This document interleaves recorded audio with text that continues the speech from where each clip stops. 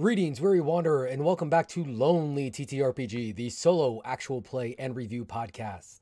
This week, we are talking about Wreck This Deck by Becky Annison. And I say talking about because a little bit about me, I'm a big old pansy when it comes to the supernatural. I have legit seen some weird things that I can't explain, experienced some weird things that I can't explain. And I know this is a game. I know. I know. Trust me. I know this is a game. This almost feels a little too real for me. But we're going to talk about it anyway because I do think that it is fascinating. So, Wreck This Deck is a solo journaling game where you play as a deck runner. So, a deck runner is somebody who uses their deck of cards in order to trap and bind demons in order to perform acts of service, powerful magics, hexes, and assist in fortune telling. And that's the basic loop of this gameplay. All right. You're going to do some fortune telling. You're going to attempt to divine the nature of the problem. You will attempt to capture some demons and bind them to the cards in your deck, trapping them in your deck through some means, whatever means possible. And then you will then use those demons in order to perform rituals to aid your community. So, to start out, you're going to choose a name and you're going to choose a true name. You're going to choose a community that might have certain problems. All right. You're going to create this community. And then you're going to get ready to play. Now, to play, you're going to need a standard deck of cards with jokers. And then things like markers, paint, scissors, needle, thread, whatever you want. All right, the game is called Wreck Your Deck because you are going to be wrecking this deck. As you play and progress, you're going to be doing various things to modify the cards. Like right off the rip to start out, you're going to take your jokers. On both jokers, you're going to draw a protection symbol. And on one of the jokers, you are going to write your true name. Now, the reason this is going to come into play is while you are going through the game, if you pull a joker, and you pull the one with just the symbol of protection, that is an indication that someone is trying to hex you. But if you pull the one with your true name, then that is an indication that another deck runner is trying to reach out to you. So, like I said, the game loop on this is going to be fortune telling, ritual, and demon trapping. Now, for fortune telling, you're going to use a variety of different fortune telling spreads. You can use the ones provided for you in the book, or you can also use any spreads that you can find online or determine for yourself. This game book, on many occasions, references that the more you do this, the more powerful your deck is going to be, the more personalized it's going to be, and the more likely you are to develop your own rituals and interpretations based on that. But with the provided examples, there are several paths that you can do to try and help divine some bit of fortune. So, for example, you might take the path of demons in order to determine which demon would best be able to aid you, how to bind them, how to attract them, what it's going to cost. You can take the path of action to determine what actions you need to take or the path of lies to determine what you believe is true. And with that, you're going to be interpreting that through the table provided for you. For rituals, for designing and carrying out rituals, you're going to use your deck, and they should be able to do two things using magic to affect the world around you and extending your senses in the world or the demonic realm. Now, a ritual should have a goal one or two cards that correspond to the goal, one or two demon cards, and a focus, such as gestures, herbs, sigils, words of power, something like that, you know, something to help juice up the magic. Now, if you have a pretty full deck and you've trapped a lot of demons in it, then you can mark an X on some cards with like tape or something else that's kind of removable in order just to make it like a blank card and let that demon know that you're not really trying to summon them. But you're going to set up your ritual and then you're going to finish it by drawing cards at random from the remainder of the deck. So you're going to draw one card for the ritual and one for the demon you used. Now, in order for your ritual to succeed, you only need to draw a single red card. If you draw only black cards, then something has gone wrong somehow. And if any of those black cards is a face card, then there's a backlash that's going to injure your deck. And those deck injuries can also cause things like the demons to get out, weaken their confinement, run amok, that sort of thing. Finally, you do need to trap demons into this deck. And trapping demons works exactly like a ritual with a few exceptions. One, you don't need to use any demon cards in the ritual in order to trap them. Two, you must choose a card to trap the demon that corresponds most closely with the traits of the demon you want to catch. If you're not sure what card to use, you can use the fortune telling table to help out. And you don't need to draw cards to finish the ritual, it's automatically successful. It's almost like the demon wants to be in the deck. And that is not worrying at all. Nothing to worry about. Now, for some of these demons, they are known and the rituals for trapping them are well documented. And this does provide a list of what those demons are.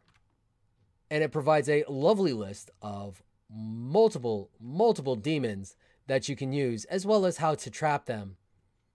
Plus, any type of needs or complications that will occur if something were to go wrong or to try and help with improving the odds of your ritual.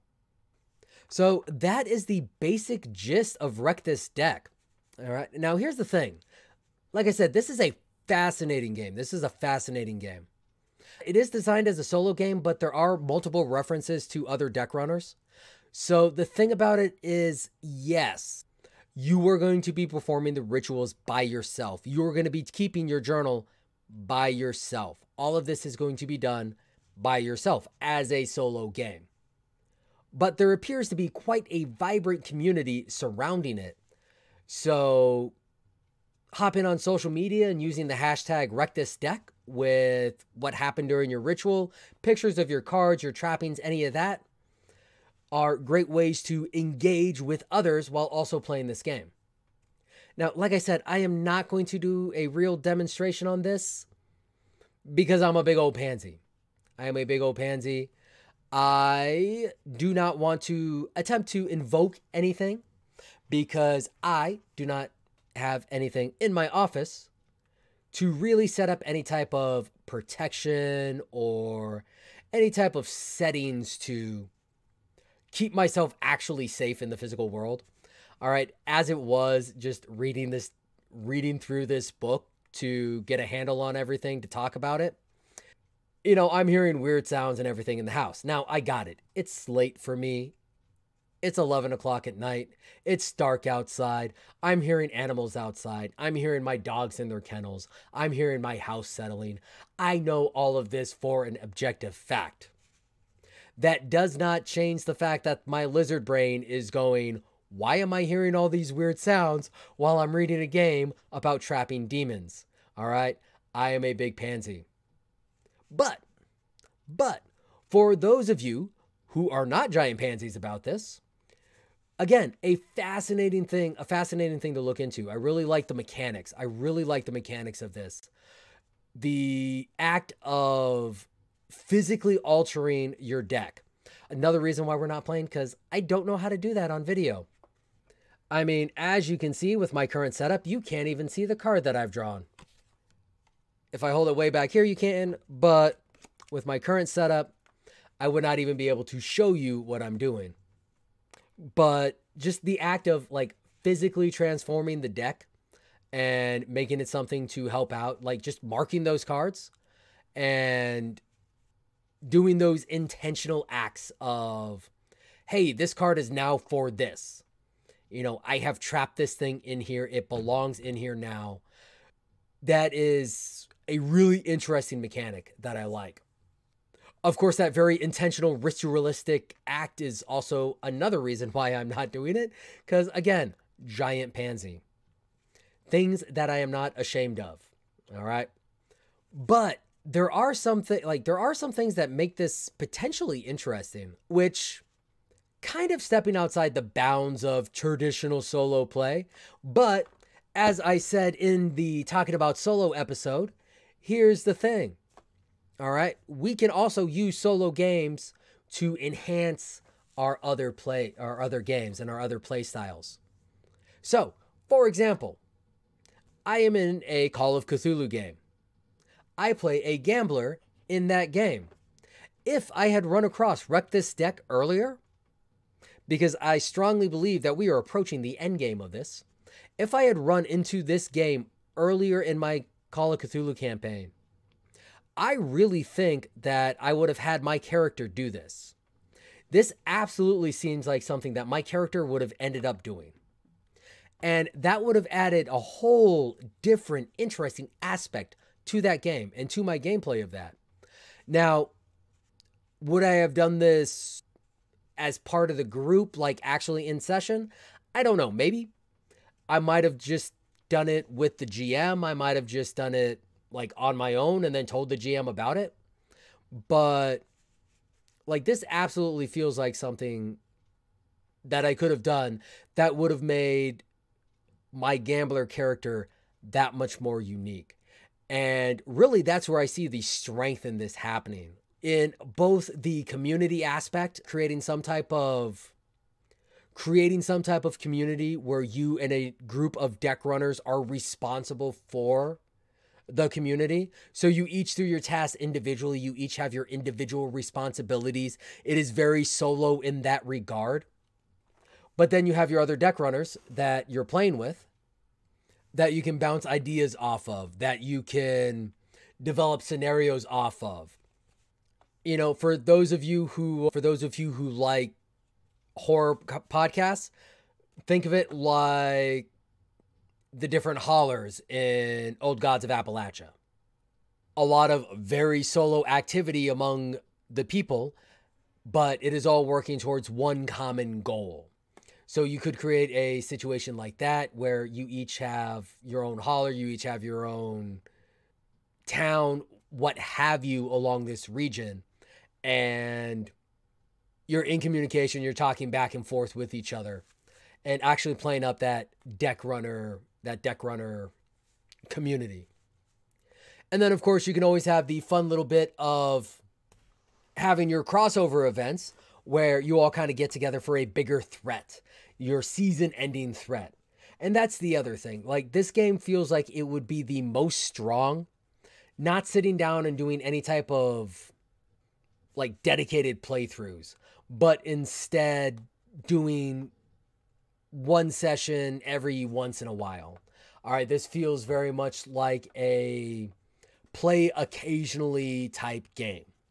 Whereas most of the games that we featured on this podcast have been very, you can sit down and you can play them for the duration. They're all designed to be played through for the duration. This one definitely feels more like, hey, today I'm going to do some fortune telling. And then you think about that for a little bit and you make some notes down in your journal and you carry on with your regular, normal, non game life. And then it's like, you know what? You know what? There's some weirdness, or there's some issue going around at work. I'm going to pretend that my community is having a problem related to that. And we're going to do a ritual or you know, it might be interesting if I, you know, I did a ritual for this type of thing, but you know, in order to do that, then I need to figure out what type of demon to find and I need to trap and bind the demon and then we'll perform the ritual and then let that play out and do that. And so that that feels definitely like the best use of this which of course makes it very difficult to kind of feature on this pod as our format is very much sit down and play. But regardless of how you try to do it, this game definitely looks like it has a lot of potential for a good time. And if you think so as well, the best way for a public release is going to be backing them on BackerKit. This game is currently in BackerKit. They are trying to get a print run of this game. Nearest I can tell, the only copy available digitally is currently through their Patreon, but their backer kit is up. It's actually already fully funded, but hop on that and you will definitely guarantee yourself a copy. They got digital copies going for 10 pounds, which should be what, 11 or 12 American? So head over there, give them a pledge, or wait to see if they do just a general release when it comes out. I am sure that they will.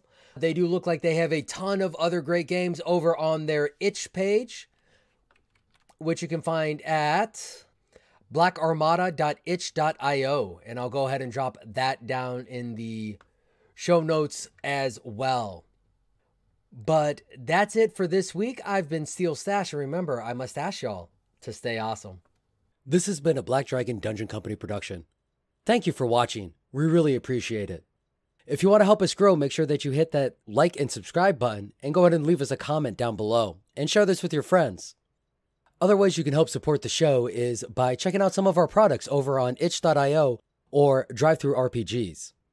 In addition, you can join our Patreon and get early release access and a chance to ask us any questions that you have. If you want to reach out to us on social media, you can find us on Twitter at BDDC underscore pod, or you can email us at blackdragondungeoncompany at gmail.com. Once again, thanks for watching.